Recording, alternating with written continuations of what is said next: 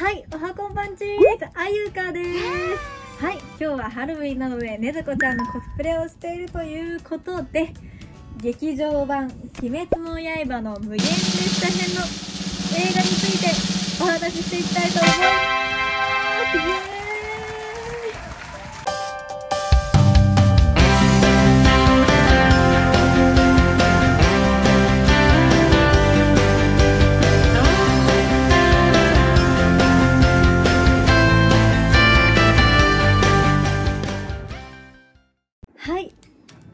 場版「鬼滅の刃無限列車編」のあらすじをお話ししたいと思うんですけどネタバレになってしまうとダメなので劇場で買ったこのパンフレットのあらすじを少しだけ読んでいきたいと思います。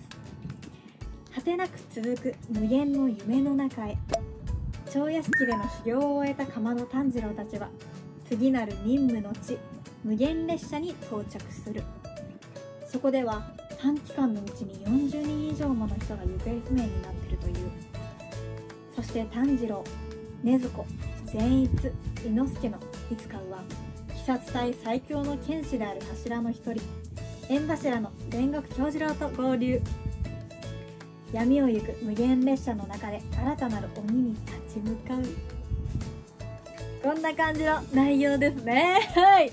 テレビでやってたアニメの続き。ですね。はい。はい。もう本当に一人一人がかっこいいんですよ。本当にもう煉獄さんに善逸に炭治郎にね禰豆子ちゃんに伊之助だったり。ね今回本当にもう一人一人が活躍してて。もうどれもかっこよかったです。本当に素晴らしかったですね。本当にこれパンフレットなんですけどもう全部全部こうやって書いてあってそうですねこのシーンの一つ一つをこうやってパンフレットで後で見返すともうその時のあ頭にきますね。いやもう本当に素晴らしかったです。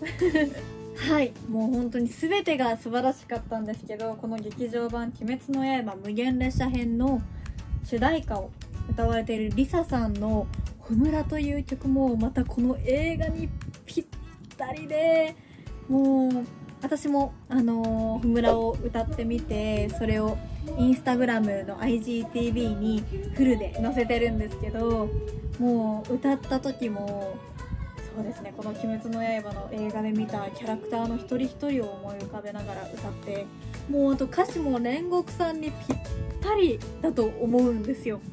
本当に素晴らしい歌だと思います。もう歌うのも本当に大好きな曲です。あとですねこのパンフレットのね最後に書いてあるここに書いてあるセリフパンフロ パンフレットでもね感動してしまうという。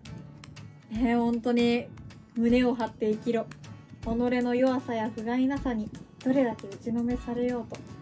心を燃やせって書いてあるんですよもう煉獄さん。はい。改めて「鬼滅の刃」って本当にすごいなって心から思える映画なので皆さんもよかったら見てみてください。はい。原作の漫画も読んでるんですけど多分無限列車編の後もまだまだ続くと思うので今後も楽しみなところです。無限列車編なのでね。変だとまた次も映画があるんじゃないかなって期待してしまいます。はい「鬼滅の刃」を見たら一緒に感想を話し合いたいです。はい。最後まで見てくださって本当にありがとうございました。テレマカシーこのチャンネルがいいなって思ってくださった方は LIKE コメントチャンネル登録ぜひぜひよろしくお願いします。それではまた次回のスカスカあゆかでじゃあね